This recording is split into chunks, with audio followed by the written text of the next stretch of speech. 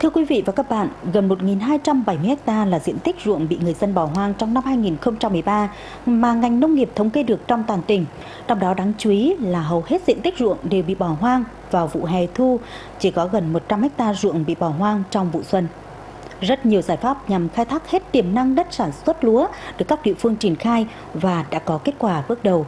Một tín hiệu vui trong vụ xuân năm nay là hầu hết diện tích đất trồng lúa đều đã được gieo cấy thiếu lao động, sản xuất nông nghiệp kém hiệu quả do thiên tai, dịch bệnh, chi phí đầu tư cao là các nguyên nhân khiến nông dân bỏ ruộng. Năm 2013, toàn tỉnh có đến gần 1.270 ha ruộng bị bỏ hoang, trong đó có gần 1.200 ha của vụ hè thu. Theo thống kê của ngành nông nghiệp, thì huyện Nam Đàn là địa phương có diện tích ruộng bỏ hoang nhiều nhất với 600 ha, trong đó đa phần ở vùng Chí Nam. Xã Nam Trung có 76 ha ruộng bị bỏ hoang trong vụ hè thu năm 2013.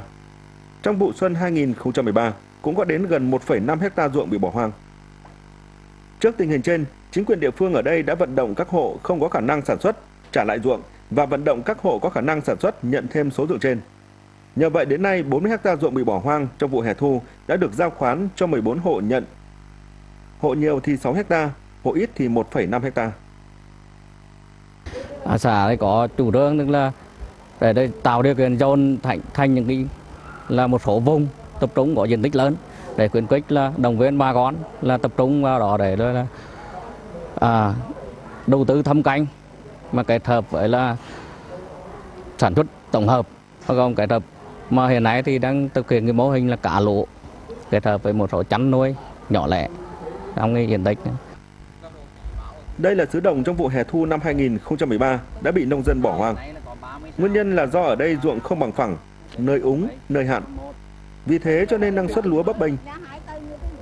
Làm ruộng không có hiệu quả, nhiều nông dân ở đây đã trả lại cho xã và xã đã giao khoán lại cho gia đình ông Hoàng Nghĩa Lân. Với chi phí đầu tư 40 triệu đồng, hôm nay gia đình ông Lân đã có được một xứ đồng bằng phẳng và phía trên còn có thể sử dụng để xây dựng ao, trang trại chăn nuôi. Sự táo bạo trong cách nghĩ cách làm của một số hộ dân nơi đây đã biến vùng đất hoang hóa thành những trang trại vừa trồng lúa vừa chăn nuôi bản thân tôi thì nói chung gia đình có cảm thấy có điều kiện. Thì có điều kiện thì à, nói chung là ba con nó trả thì chúng tôi nhận nhận đi để có để mà nhận à, cái số lượng nhiều để mà cánh tác để mà có tăng thu nhập cho gia đình. Là cái đặc thù ở cái vùng ấy là vùng trũng cho nên là họ trả nhân dân họ trả ruộng rất nhiều. Nên à, tôi thấy là tuyệt quả mà mình trong lúc đó thì con à, đi vắng nhưng mà mình thì vẫn phải nhận thêm ruộng để làm để đỡ tăng thu nhập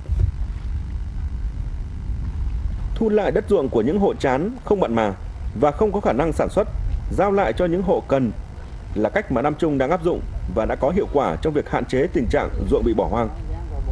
Tuy nhiên, không phải địa phương nào cũng làm được như Nam Trung.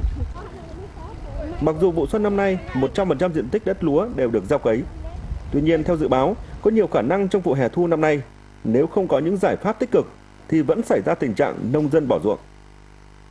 Hưng Nguyên là địa phương đứng thứ hai về diện tích ruộng bị bỏ hoang. Và ngay bây giờ, huyện cũng đã đưa ra một số giải pháp để hạn chế tình trạng này. Có hai giải pháp mà khả thi nhất. Giải pháp thứ nhất đó là về đầu tư hạ tầng. Phải đầu tư cho được là hệ thống tưới đảm bảo đủ nước và chủ động.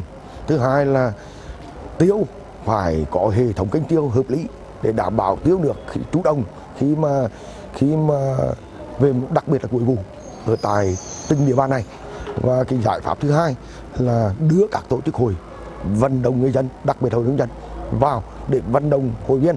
Và những hội viên nào không có điều kiện sản xuất thì có thể là nhường diện tích này lại vụ hè thu để cho người dân khác có điều kiện sản xuất.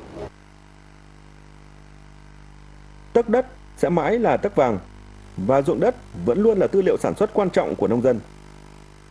Tuy nhiên khi mà sản xuất nông nghiệp không mang lại hiệu quả thì nông dân buộc phải bỏ ruộng và sẽ ảnh hưởng đến vấn đề an ninh lương thực.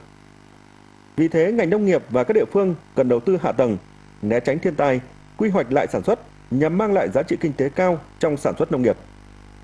Khi nào nông dân có thể sống được với nghề nông, khi đó tình trạng bỏ ruộng sẽ không xảy ra. Và tất nhiên, một vấn đề không mới, nhưng cũng đáng để các cấp các ngành quan tâm. Đó là đất đai không chỉ để cấy lúa, Và nông dân cũng không phải chỉ biết có làm ruộng.